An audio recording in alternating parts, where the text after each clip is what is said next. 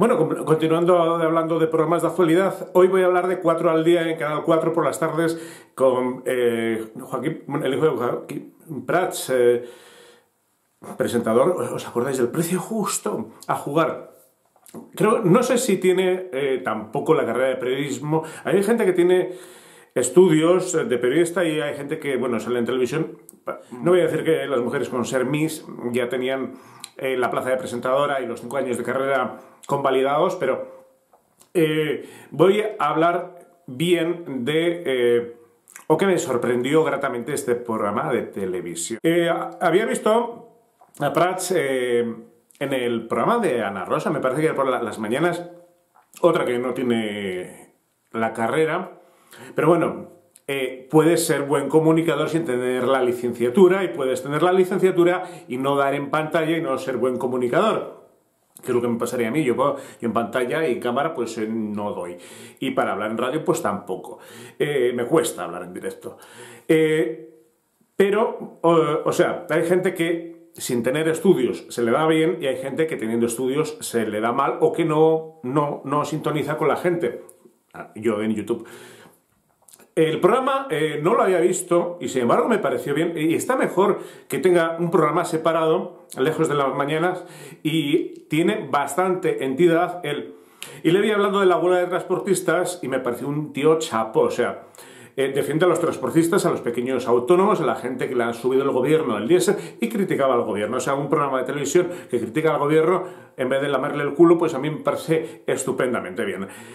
Eh, Luego, sin embargo, habló una, no sé si era youtuber o periodista rusa, que ha tenido problemas en las redes sociales por la falta de pluralidad y, bueno, ya sabemos que Twitter, eh, Facebook, YouTube, etcétera, eh, discriminan a la gente, o sea, criticamos la...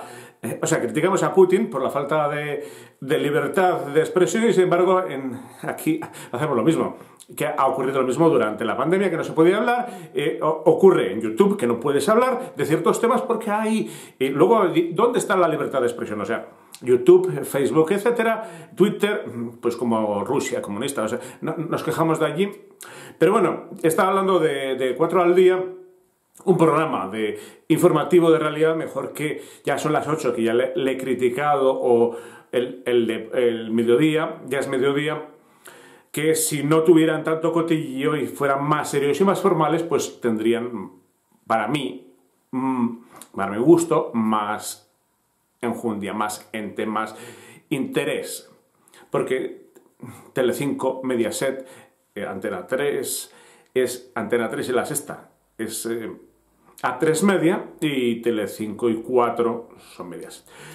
Yo he tenido acciones, las he vendido porque cada año perdía dinero. en fin, a lo que iba.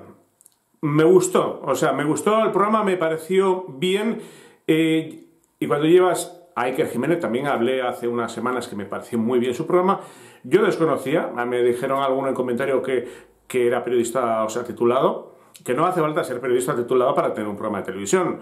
O sea, es como, no hace falta ser eh, comunicador para comunicar en YouTube y comunicar bien. Yo, sin embargo, sin embargo, tengo la carrera y pues por mis eh, cualidades físicas, mi atractivo que está por los suelos, etcétera, pues no, no doy en cámara. Pero bueno, tengo 40 seguidores, 30 y tantos, o 38 que me ven los vídeos eh, en Twitch. Eh, llega a 3, así que todavía me va a pesar, sí, lo tengo baneado, el, el canal.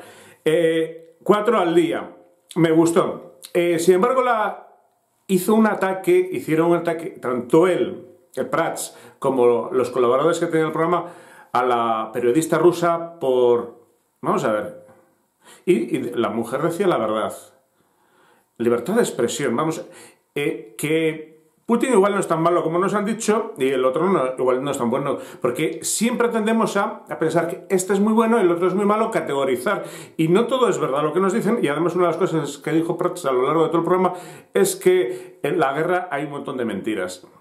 Bueno, pues termino el programa de hoy, o el YouTube de hoy, criticando los medios de comunicación, criticando la censura y criticando eh, si bien me pareció un buen programa interesante cómo abordó el tema de los transportistas, la huelga, etc., eh, ellos mismos se contradijeron en libertad de expresión. A ver, tú eres periodista o lo que seas, Instagramer, rusa, y tienes que tener derecho a manifestar tu punto de vista diferente.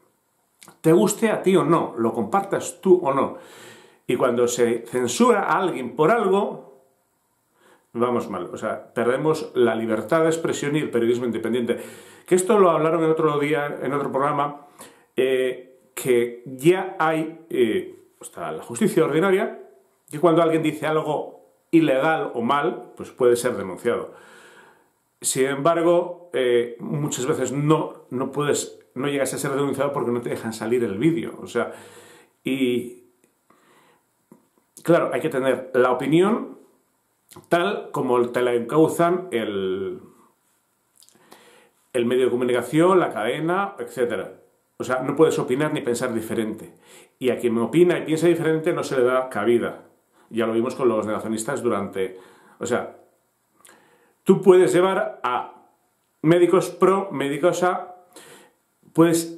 Eh, lo que debiéramos para que funcionase el periodismo es contrastar y poner a las dos partes y que el espectador o el lector del periódico o el oyente de la radio sacase sus propias conclusiones. Pero cuando solo le damos una parte de la verdad y se la damos como la verdad auténtica, la buena, y no le dejamos pensar y criticamos además como presentadores o tertulianos de televisión la opinión diferente, dando por la única que dejamos ver como la buena, estamos cercenando la libertad de expresión, la libertad de opinión y la libertad de pensamiento. Y entonces tenemos sociedades adoctrinadas que piensan lo que queremos que piensen y no se forman ni se forjan una opinión propia porque solo les damos una versión de la realidad, la que nos conviene al medio de comunicación, gobierno, plataforma, etc. Muy buenos días. Si te gusta nuestro canal y quieres seguir viendo más vídeos como estos, suscríbete es gratis y YouTube te avisará cada vez que subamos un vídeo. Y si te ha gustado este vídeo, dale un like.